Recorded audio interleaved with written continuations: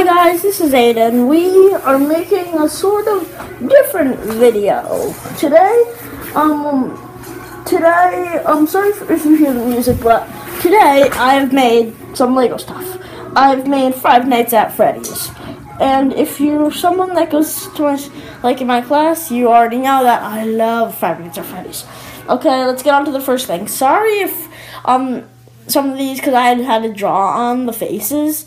But sorry if the Chica looks horrible. I had no yellow um, person at all, so I just had to do this.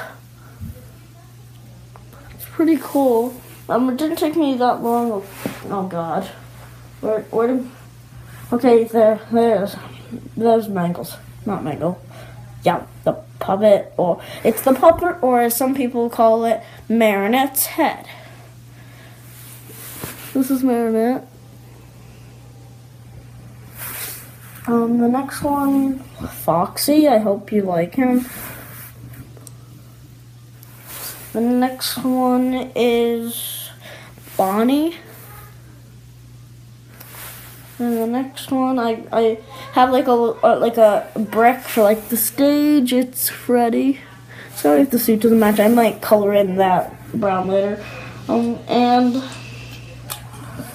I got Mike the Night Guard. Got like his flashlight, his little flashlight. And this is Mike the Night Guard. He has his flashlight right here. His, his shirt actually matches Freddy's right now. And if you have ever played Nights at Freddy's 4, you know notice the counter. Oh, oh God. My thing's breaking. Um, the, the, notice the counter that, um, that, um, like, the night guard, like, sits right in front of. Um, it's pretty cool. Well, that's sort of the end of this video, and I'll see you all later. Please don't forget to like and subscribe. Bye!